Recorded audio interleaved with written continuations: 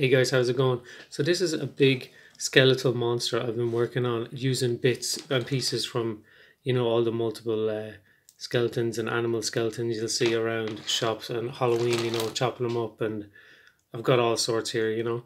Um, so there's a bit of a selection there. I was too late to enter in the competition for, with the guild, uh, you know, DM Scotty and uh, Black Magic Craft and those guys. I can't remember the name, but they had a competition anyway um, that people do different crafts using different things each month, I think it is, and they have some like fantastic stuff. It's actually classy. Just check it out. Um, but this is just some guy I was working on, and it's quite obviously unnatural. Um, so I'll maybe talk through it a wee bit anyway.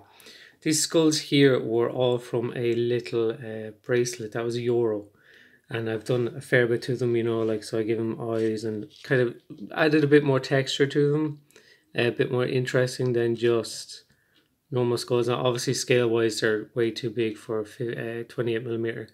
And you got rib cage, more texture, hot glue, putting it all together. I have kind of pinned them together as well, a little bit, uh, just for extra strength. And all these were uh, bits from a, a bird, um, a skeletal bird or crow. You'll see multiple people actually on YouTube doing videos on uh, what they've done with this bird and uh, rat and all these different guys. So that's just I don't know, some kind of decoration weirdness on the back.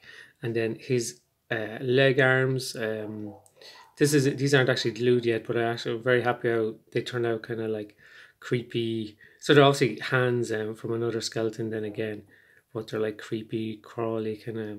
Uh, I don't know hands for feet, so it's quite odd. And then his stance is strange altogether. So I don't know exactly how he would fight. Uh, I'm not really thinking that far yet, and exactly what's going to go down here. I'd absolutely love if I had 28 millimeter scale skeleton arms, just tiny ones for one for here and one for here, more for comedic effect because it it'd just be strange.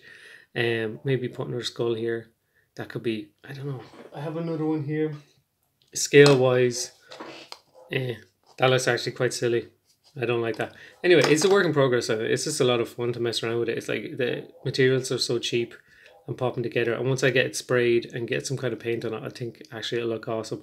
So for the base, I was going for something like this. So that's just pen drawn into this uh, kind of with a little bit of pressure to put a bit of relief and um, uh, put the detail on the base. So he'll be on a large base. So he's just quite big, you know what I mean? So that's him uh, versus these, um, what is this, Heroscape? This isn't Heroscape. This is, um, if anybody can remember the name of this game, I'm blanking at the moment, but these two bugbears I just recently painted up.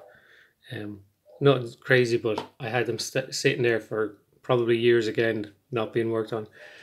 But that's him scale against them. Um, yeah, it's a lot of fun to pick up these uh, these crafting uh, materials around, especially cheaper again after Halloween. You'll find, you know, you'll see people doing videos about this, and there's some actually great stuff out there. You should check it out between spiders uh, skeletons. A lot of people doing skeletons, and they're really great for like I know this could be maybe a bone golem or just uh, any sort of magical skeleton creature.